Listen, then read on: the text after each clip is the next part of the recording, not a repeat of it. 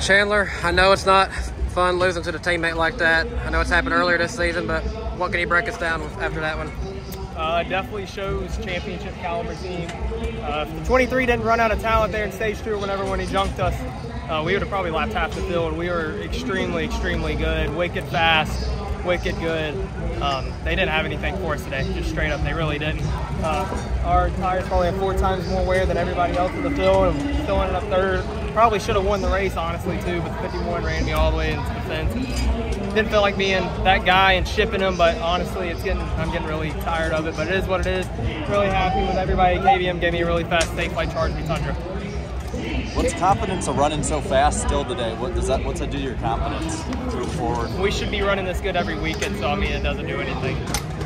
Christian, I know you did everything you needed to there at the end. Felt like you probably had it won there, but unfortunately, overtime's the way it happens in NASCAR. What could you have done any different there?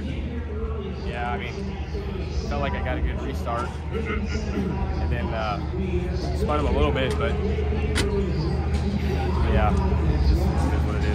The 19 pushed me too hard and got my rear wheels up in the air and didn't go nowhere. So it is what it is. We didn't restart well all day, but we had a really fast uh, trip record for the Tundra. It's the only positive for today, I guess. Well, moving forward to Sonoma, how do you kind of move past something like this and then go and, and run fast there? Just how, how, how do you kind of mentality-wise go into it? In the same way we've we've gotten heartbroken the past four weeks. Uh, Bringing fast trucks. Putting ourselves in position. It's just stupid shit in the air. So shout out to a friend of the channel, Rajah Caruth. You got a top 10 in your first truck start. What, what you did spin out one point, but what how, what led you to rally back from that and finish where you did? Just the quality of this equipment. You know, this Fire Motorsports truck was was awesome today.